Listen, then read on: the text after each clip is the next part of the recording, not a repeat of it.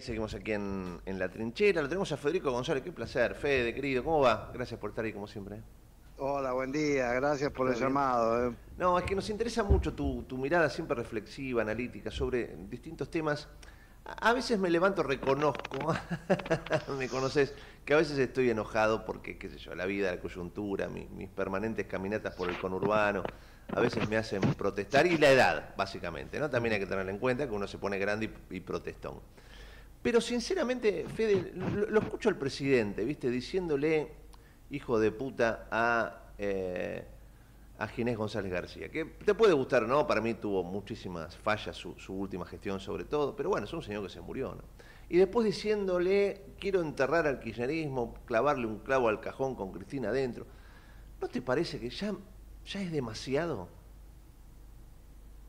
Eh, sí, creo que y bueno, vamos a decirlo, vamos a decirlo con contundencia. Sí, eh, sí es, demasiado. Y bueno, pero mirá, creo que lo hablamos la vez pasada. Sí. Eh, si hay un hecho empírico hiper comprobado de la psicología, es que en general la gente no cambia. No suele cambiar, o le cuesta cambiar, o no quiere cambiar. Eh, bueno, a ver, el caso de, de Miley, él, eh, lo que los demás ven como un defecto, él lo ve como una virtud, él se jacta de, de su intensidad y de decir las cosas como las piensa. No va a cambiar, o sea que te vas a seguir sorprendiendo y a veces uno, mira, vamos a hacer un paralelismo con Cristina. Con Cristina yo me acuerdo las marchas de, del 2012, multitudinarias, eh, que, bueno, una parte de la sociedad estaba muy enojada con Cristina y esperaba que después de esas marchas Cristina iba a cambiar. Bueno, ahora Cristina va a tener que...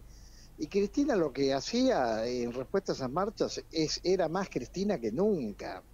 Entonces, eh, esto no, no, no, no pretendo hacer ningún juicio valorativo respecto de esto. Simplemente para mí hago la predicción de un hecho empírico. Mi ley no va a cambiar, va a, seguir haciendo, va a seguir siendo mi ley. Y el auténtico mi ley es el que dice esas cosas que al que las escucha o a muchos que las escuchan, no a todos, que también está, hay una parte que se la celebra, se la festeja, pero hay una parte de la sociedad que no le gustan y bueno, y pero eso, Fede, eh, ¿cómo repercuten en, en, la sociedad? ¿no? Porque eh, evidentemente eh, estamos tensos y yo lo escucho al presidente putear y, qué sé yo, no sé, el, mensaje a la sociedad no es bueno. E, ese nivel de intolerancia no es bueno. Mira, yo te diría que mayoritariamente eh, coincido, es decir, me parece que la mayoría de la... Lo que mi ley llama a los argentinos de bien, eh, no les gusta el estilo de la beligerancia. Eh, eso por un lado. Por otro lado, y esto también forma parte de, la vida, eh, a todos nos acostumbramos. Hay un fenómeno estudiado mucho en neuropsicología, que es el fenómeno de la habituación. Mm. Es la persona que vive al lado de donde pasa, donde está la vía del tren. Y bueno, el primer día no puede dormir, el segundo más o menos, el tercero se acostumbró y ahora ni lo siente. Es buen ejemplo ese, ¿eh? tenés razón, es verdad. Vos sabés que me hace acordar una canción de, de una canción, sí, una de esos de esos pilancias de, de los programas de Tato Bores cuando estaba con, con el doctor Ricuti. Estoy hablando de la década del 60. Y había una del este era del 70. había una canción que era la canción de los de los recontra readaptados y la letra decía que, bueno, que los argentinos nos terminamos adaptando, y, la, por ahí el estribillo era nos adaptamos a, a un empleo, cuando aunque no sea ni linda ni, ni lindo ni feo, nos adaptamos a estar contentos, que nos lleva la mufa por dentro, y nos adaptamos a cualquier cosa, siempre que no sea muy espantosa. Y después lo que terminaba diciendo el estribillo, y nos adaptamos sin saber cuándo, comenzaremos a recontra readaptarnos. Entonces, bueno, forma parte de ya de, nuestro de nuestra de la escenografía. Claro el adaptarnos a las cosas que bueno que a muchos no les gusta. Ahora pero por otro lado y lo diría que es lo más importante eh, si a Milei le va bien en su plan económico y, la, y el argentino vive mejor todo esto... No tiene ningún valor, sí, es verdad. Eh, no, no le va a dar importancia o lo va a entender como parte del personaje o algunos lo van a celebrar y ahí sí la, cito a Mirta Legrand. Si te van bien, te contratan. Ahora, vamos siguiendo la cita de Mirta Legrand. Y si te va mal, te maltratan. Si a mi ley con el plan económico le empieza a ir mal o no le termina de ir bien, ostensiblemente mal, y bueno, ahí sí, yo creo que esto que, que por ahora no es central en el, mi día a día y va a empezar a hacerlo. Federico, ¿cómo te va? Raúl Vázquez te saluda. Hola, hola Raúl, ¿cómo te va? Muy bien. Eh, te escuchaba y claramente cuando hablabas de, de, aquel poema, el poema de Tato Bores o, o, esto que estamos también hablando, que es naturalizar este, el odio y naturalizar formas de gobernar y naturalizar cuestiones que nos pueden lastimar, pero que en definitiva si no va bien el económico, naturalizaremos y seguiremos naturalizando, eh, me hacía acordar a Menem también, ¿no? Las cosas que eh, naturalizamos de Menem y, su plan económico, o, de alguna forma, lo tiempo que duró el plan económico, este, nos hemos bancado un un montón de cuestiones. Ahora el problema es que estamos naturalizando cosas y este, hay gente con menos laburo y hay gente que está al costado de la banquina y aquellos que veíamos este, sufrir y parecían lejanos, hoy son muchos familiares o amigos. Digo, este, más allá de algunos números macro que pareciera en principio que, están funcionando y que la inflación pareciera también en principio que está este, con algunos serruchitos, pero está funcionando también esta cuestión. Pero digo, estamos naturalizando demasiado, ¿no? Y, hay peligro ahí, porque ya naturalizar este, el odio me parece que, bueno, puede tener un final complejo. ¿Vos cómo lo ves?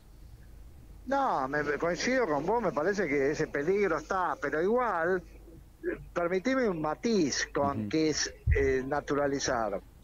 Eh, que tiene que ver eh, como algo central es la indiferencia, me es indiferente. Mm. Eh, entonces pasa algo que es más allá del tema político y de mi ley. como idea pasa algo terrible y bueno, y ya forma parte del paisaje y no lo veo. Ahora, después hay otro grado del naturalizar, que es acompañar que mm. eso también es como, bueno, esto que antes era malo, ahora es bueno y lo celebro. Yo creo que esa es la más peligrosa. Mm. Porque vos fijate que cuando hay mucha beligerancia política eh, y hay mucho, digamos, chicaneo denso, yo lo diría de esa manera, el problema es que los dirigentes, y bueno, es mi ley, son otros también, o en el pasado fueron otros, están haciendo un ejercicio de bullying social. Y yo creo que la Argentina no está para tener ejemplos de, de bulineo social. Porque el bulineo social, y ahí lo cito al Papa, cuando el Papa dice, bueno, primero la violencia es verbal y después se transforma, va un increyendo, y bueno, que además eso lo sabemos por, por, por, la calle, por la vida. Que uno, que me miraste mal, no, que no te miré, no, sí, pero ¿qué? Te estás haciendo el guapo y, y termina en una tragedia eso, ¿viste? Sí, sí.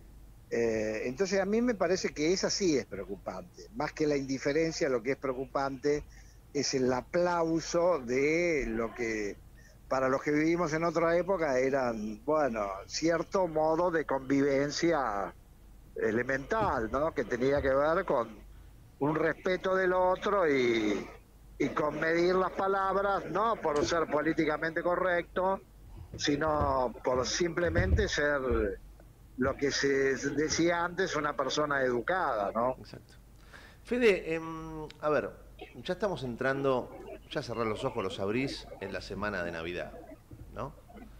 Em, ya pasó el año, ya pasó prácticamente el primer año del presidente de la República. ¿Tu balance general cuál es? ¿Cómo nos encuentra este fin de año?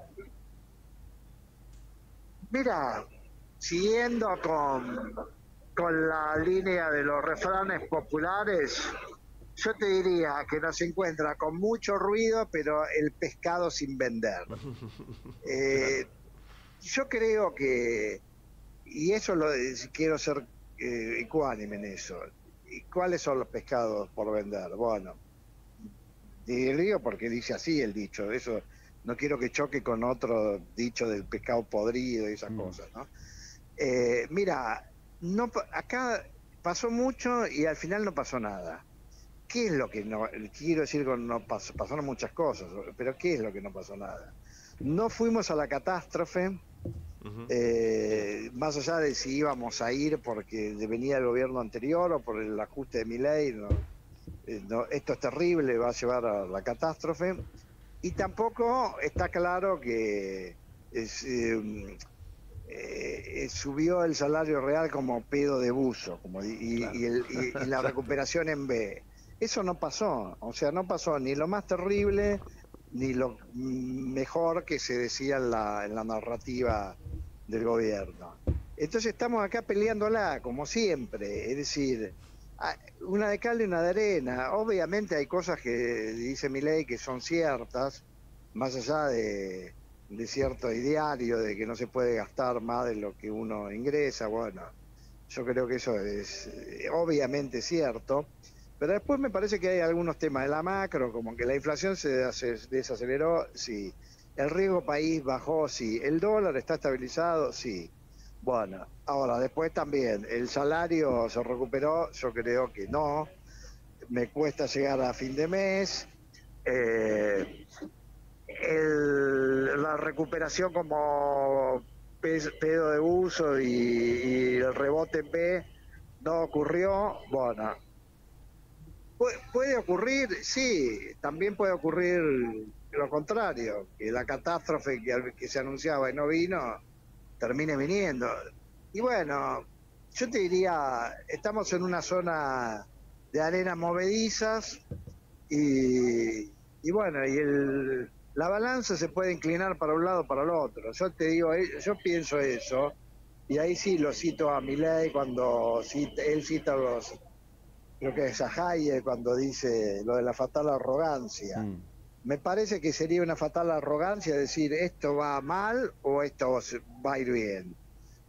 Con la información que tenemos me parece que lo que yo creo que lo que primaría o debería primar es un optimismo cauto o un sano o un optimismo cauto. Decirlo de las dos maneras que es lo mismo. Federico, en el medio de todo esto, donde claramente estamos planteando y analizando lo que le pasa a la gente en carne propia, ¿no? Este, lo complicado que está, eh, eh, el, hecho de que el pedo de buzo no existió, es que la ve corta tampoco, o por lo menos por ahora. En el medio de todo eso, ¿cómo analizás o qué reflexión te merece cuando volvemos como argentinos, por ejemplo, entre otras cosas, a analizar cosas que uno ya las hacía no enterradas, pero sí como parte de la historia, no olvidadas, porque no hay que olvidar, pero sí como parte de una reflexión que tal vez es medio fuera de época. Por caso, el homenaje, de alguna forma, por llamarlo así, de la vicepresidenta a María Estela Martínez de Perón y la crítica de ayer del presidente a ese mismo homenaje. Eh, que, habla también un poco de una idea este, claramente de peleas de agendas entre presidente y vice. Pero digo, ¿cómo analizás también esta cuestión donde yo jamás imaginé que íbamos a volver a mm, pensar eh, como si fuera hace 10 minutos a, analizar el gobierno del 74 de Isabel? Bueno, eh, yo creo que eso tiene que ver con, la dimensión de la batalla cultural. Mm. En eso hay una coincidencia entre Villarruel y Milei, a pesar de, que, de las disidencias.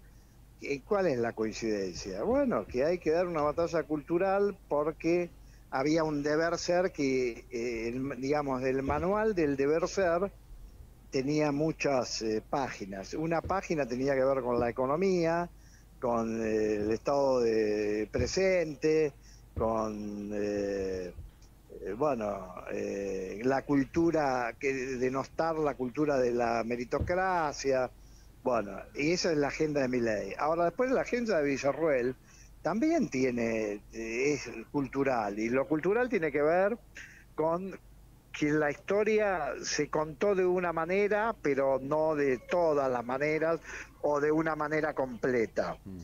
Entonces me parece que cada uno, es decir, tiene algo en común, hay que dar una batalla cultural y tiene algo de diferente, las agendas de esas batallas y los planes políticos son diferentes. Entonces a mí me parece que en un sentido lo de Villarruel puede parecer extemporáneo, eh, pero ahora vamos a hablar de Isabel Perón. Pero la lógica de ella no eh, tiene sentido.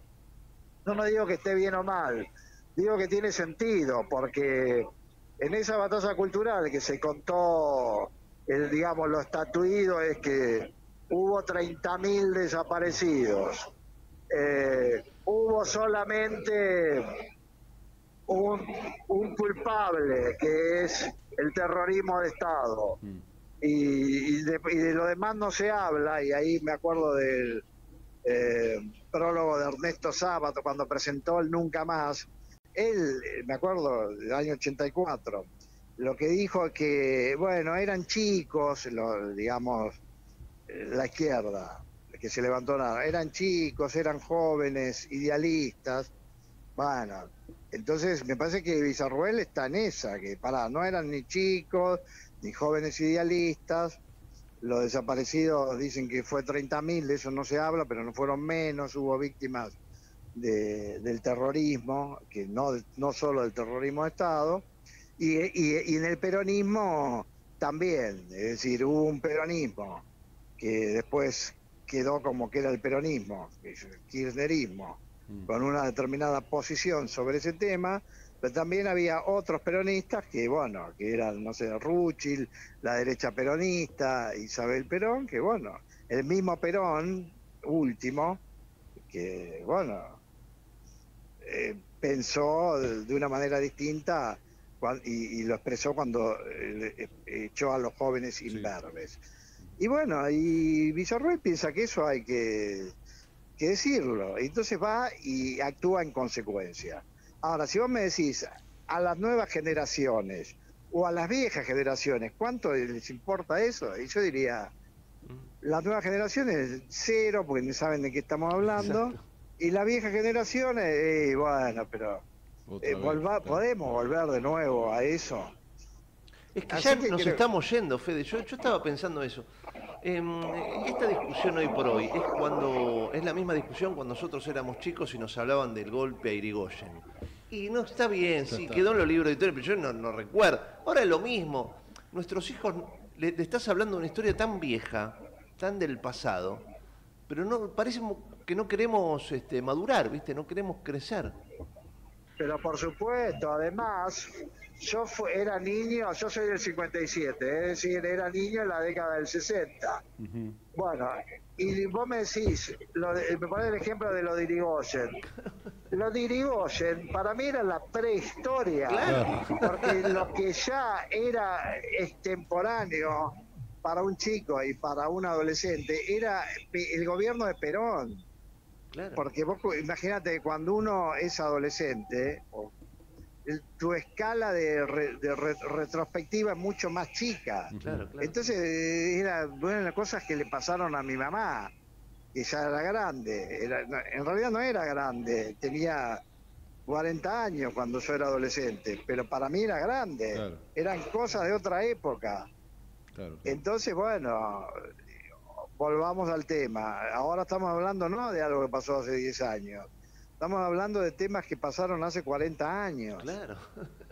Y, no sé, bueno, ¿cuántos son más de 40, no? Sí, 50, claro, 50 años. Casi 50 años. Entonces, bueno, no. Ah, el monólogo, el monólogo final de Solos en la Madrugada, capaz que lo recordás con Sacristán, decía, entre otras cosas, que el gran problema de la España post-franquista era que el riesgo era pasarse los próximos 40 años hablando de los últimos 40 años. es una frase muy buena. Buenísima. Y, pero mira, a propósito que recordás esos monólogos, hay uno que para mí viene al caso para interpretar el fenómeno de ley En un momento el personaje de Sacristán dice, y nueve de cada diez personas que usted admira son de derecha. Ah, sí. No sé si te acordás. Sí, es parte de una publicidad que estaba en la radio, hablaba de Santiago Bernabéu, de Julio Iglesias, sí, sí. Así que bueno, tenemos para seguir. Ya lo creo. Largamente. Fede, querido, como siempre, qué placer tenerte. ¿eh? bueno, igualmente, igualmente, porque está bueno hablar de esos temas. Un abrazo a los dos. Gracias, Federico González, ¿eh? analista político, eh, un sabio. Sí, sí, sí, claro que sí. Un gran analista, reflexivo, lindo de escuchar. actual, con los temas que nos ocupan ahora, ¿no? que evidentemente son tantos y son tan profundos. Y que perder tiempo, no digo olvidar, el pasado no hay que olvidarlo nunca para no repetirlo, pero una cosa es tenerlo ahí, ¿no? donde debe estar, y otra cosa es que nos ocupe el centro de nuestra vida actual. Pasó hace 40 años. Es demasiado como para que sea este, el centro de la escena, ¿no?